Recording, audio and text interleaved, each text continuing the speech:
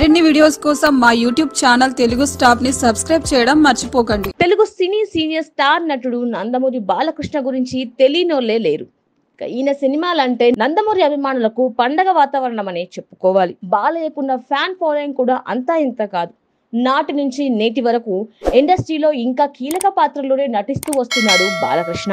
అంతేకాకుండా ప్రస్తుతం వరుస సినిమాల్లో హీరోగా నటిస్తూ ఇంకా అవకాశాలతో ముందుకు దూసుకుపోతున్నాడు. ఇదిలా ఉంటే బాలయ్య సరసన చాలా వరకు నాటి నుంచి నేటి వరకు సీనియర్ హీరోయిన్స్ నుంచి ఈ తరం హీరోయిన్స్ వరకు ఎంతో మంది నటించారు.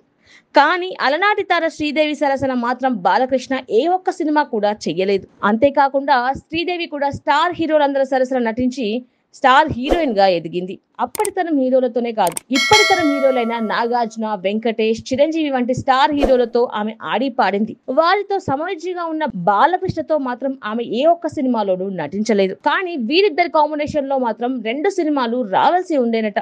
డైరెక్టర్ రాఘవేంద్రరావు తన దర్శకత్వంలో పంతొమ్మిది వందల ఎనభై ఏడులో సామ్రాట్ అనే సినిమాను ప్రకటన చేశాడు. ఈ సినిమాను బాలకృష్ణ శ్రీదేవి కాంబినేషన్లో తెరకెక్కించాలని అనుకున్నాడట.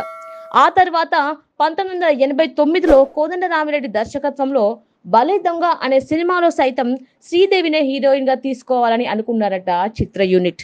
కానీ శ్రీదేవి ఆ సమయంలో హిందీ సినిమాలలో వరుస ఆఫర్లతో తెగ బిజీగా ఉండేనట. ఇక ఆ సమయంలో శ్రీదేవి బిజీగా ఉన్నందున బాలకృష్ణ ఒప్పుకున్నప్పటికీ సినిమాల నుంచి ఆమె తప్పుకున్నట్లుగా తెలుస్తోంది. ఇక ఆ తర్వాత బాలకృష్ణతో ఏ ఒక్క సినిమాలోనూ కూడా నటించలేదు. ఇక ప్రస్తుతం బాలయ్య అఖండ సినిమాతో బిజీగా ఉన్న సంగతి తెలిసిందే ఈ సినిమా తర్వాత మరో రెండు సినిమాలను లైన్లో పెట్టాడు Balakrishna Please subscribe to Telugu Please subscribe Telugu Star.